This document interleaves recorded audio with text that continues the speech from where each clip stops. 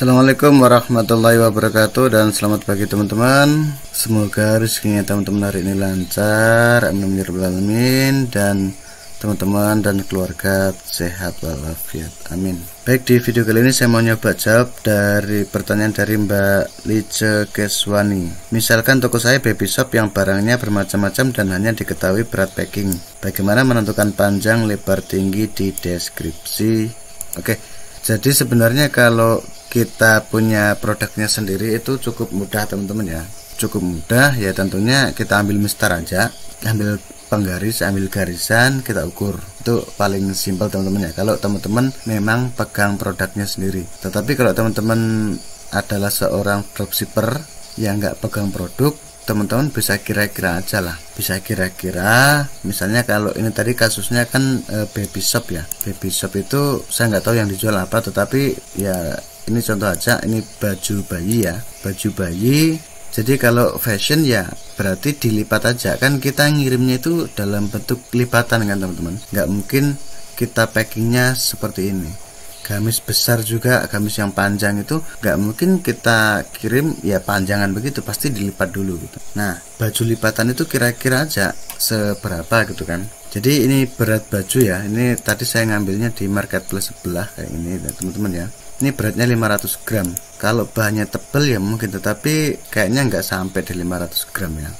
Karena di toko ini tadi itu 300 gram. Kalau 300 gram masih oke okay lah ya ini 300 gram gitu kan. Jadi kalau baju kalau fashion itu kan dilipat teman-teman ya. Kalau dilipat anggap aja lipatannya itu satu jengkal ya satu jengkal tangan itu biasanya sekitar 20 cm 20 cm nah di sini untuk panjangnya teman-teman bisa lipat lagi. Bahkan kalau kerudung itu biasanya dibuat bulat teman-teman. Kayak anggap kita buat persegi 4 20 nah tinggal tingginya itu berarti tebalnya. Tebalnya itu kan paling satu jari kita ya. Satu jari itu tuh 2 sampai 3 cm kalau kita buat 2 cm teman-teman itu beratnya cuma 133 anggap ini lebih panjang ya 30 cm teman-teman ya.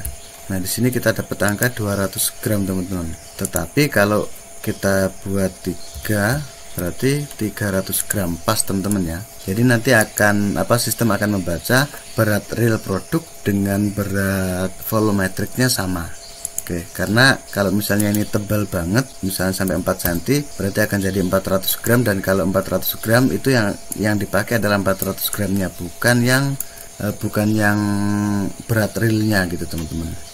Berat volumetrik yang akan dipakai karena dia memilih mana yang paling berat. Kalau misalnya helm ya teman-teman ukur adalah helm itu biasanya eh, kalau packingnya helm itu sampai 30 sampai 40 cm gitu ya. Dan biasanya dalam bentuk kotak ini kalau 30 30 di sini juga 30 itu jadi 4,5 kilo teman-teman. Padahal kan beratnya nggak segitu tuh tapi secara volumetrik ya dapat segitu teman-teman. Itu untuk Mbak Lise ya jadi dikira-kira aja yang jelas rumusnya panjang kali lebar kali tinggi dibagi 6 ini biasanya 6, 6 apa namanya? 6000 sih.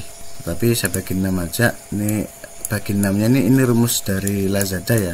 Karena kemarin ada yang tanya bang dari mana enamnya? Itu rumus yang dikasih Lazada kayak gitu. Karena saya sendiri jualan apa namanya jualan sendal itu paketnya itu uh, ukurannya kayak gini ya. 30 ini 11 11 dapatnya 665 padahal berat sendalnya itu cuma 650 kayak gitu teman-teman. Tapi yang dipakai akan 665 makanya kalau beli dua akan jadi satu kilo 1,3 kilo lebih gitu. Oke itu aja teman-teman ya. Mudah-mudahan bermanfaat. Gak bermanfaat ya dislike aja. Kita bertemu di video berikutnya. Akhir kalam assalamualaikum warahmatullahi wabarakatuh. Bye bye